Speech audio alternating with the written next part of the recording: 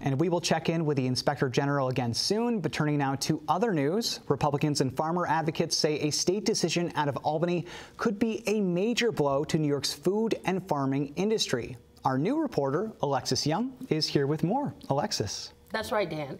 In January, a state wage board laid the groundwork for a 40 hour work week in New York's farming industry, recommending that farm workers be eligible for overtime pay after 40 hours instead of the current 60 hours.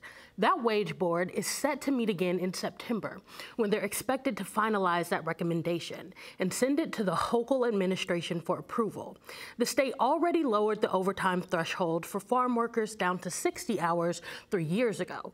But that was something farmers said they could live with at the time. But they say lowering it again could be a blow to the state's agriculture industry. Republicans joined farmers for a press conference on the issue in the Albany area this week. One of them was Senator Peter Oberacker, who represents a rural district upstate. But lowering the overtime threshold is a crushing blow that our already struggling family farms can simply not afford.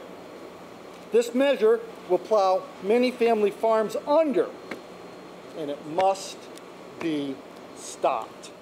Uncertainty amongst farmers stems from questions like, can we afford to hire more laborers? Can we afford to pay for dozens of hours in overtime? And how will that impact the cost of food?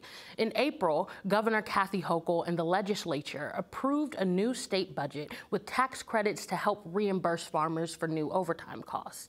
Yet the farmers, farm workers, and industry supporters present at the press conference expressed frustration with Hochul's silence on the issue. Congressman Lee Zeldin, who's also the Republican nominee for governor, said the credit will only act as a bandage, not a remedy.